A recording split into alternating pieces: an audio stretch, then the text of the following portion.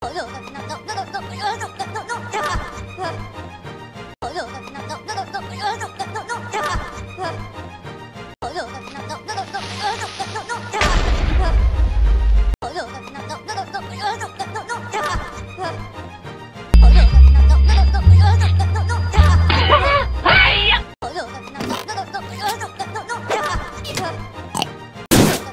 everyone, it is I, the Great Papa. What?